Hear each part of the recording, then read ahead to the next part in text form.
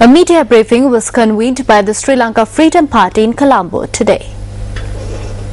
මේකට නීතියක් සම්මත කරන්න කීමෙන් By requesting for a law to be passed for this purpose, clearly goes on to show the need to formulate new laws in place of standing orders. The request made to pass a law which does not exist indicates that there is a need for a law. A new law cannot be formulated now. This is not a time to formulate a new law for this purpose. However, the Supreme Court has requested through their determination for the required laws to be formulated in the future, while working in accordance with the precedent made by Anura Bandaranaike when he was the Speaker of the Parliament.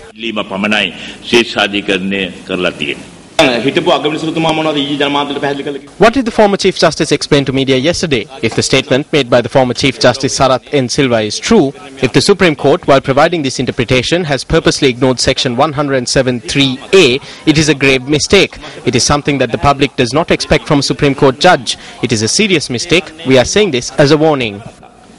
ඒක ශ්‍රේෂ්ඨාධිකරණයේ විනිසුරුවරයෙක්ගෙන් අපි රට පුරවැසියෝ බලාපොරොත්තු නොවන දෙයක්. බලාපොරොත්තු නොවන දෙයක්. අර ඒක බරපතල වැරද්දක්. ඒ ඒ- ඒක ඒක අනුතරංග වීමක් විදිහටම අපි කියන්නට වෙනවා.